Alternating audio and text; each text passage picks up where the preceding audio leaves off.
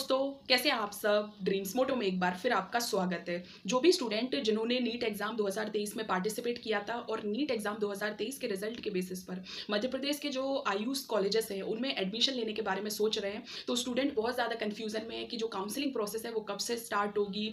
जो मध्य प्रदेश के जो भी आयुष मेडिकल कॉलेजेस हैं, जैसे बीएमएस के लिए बीएचएमएस के लिए बीयूएमएस के लिए बीएनवाईएस के लिए, जो भी सरकारी और जो प्राइवेट मेडिकल कॉलेजेस हैं, उनमें एडमिशन की प्रोसेस कब से स्टार्ट होगी? जो काउंसलिंग प्रोसेस है वो कब स्टार्ट होगी?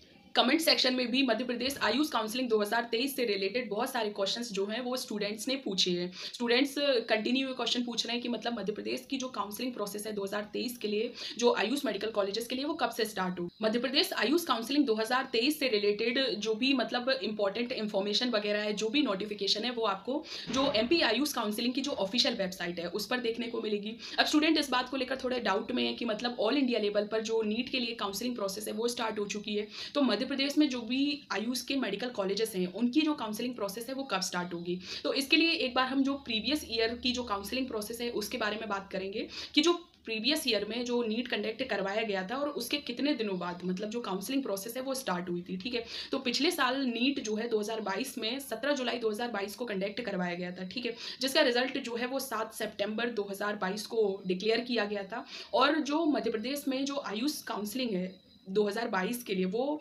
दिसंबर 2022 में स्टार्ट हुई थी। मतलब मेनली आप देख रहे हैं कि जो नीट का रिज़ल्ट है, उससे लगभग दो महीने के टाइम ड्यूरेशन के बाद जो मध्य प्रदेश में आयुष मेडिकल कॉलेजेस के लिए जो काउंसलिंग प्रोसेस है, वो स्टार्ट की गई थी, ठीक है?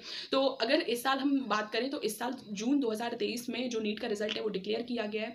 तो अगर हम मतलब प्रीवियस ईयर की जो डेटा है, उसके बारे में देखें तो उससे तो एक आइडिया लगाया जा सकता है कि जो काउंसलिंग प्रोसेस है, वो हो सकता है कि सेप्टेम्बर बाईस तक स्टार्ट हो जाए। जो प्रीवियस ईयर का जो डेटा है और उसकी तरह जो, क्योंकि हर बार इसी तरीके से जो काउंसलिंग प्रोसेस है वो कंडक्ट करवाई जाती है कि जो नीट का रिज़ल्ट है और काउंसलिंग प्रोसेस की जो स्टार्टिंग डेट है, उसमें लगभग दो महीने का ड्यूरेशन टाइम पीरियड रहता है, ठीक है?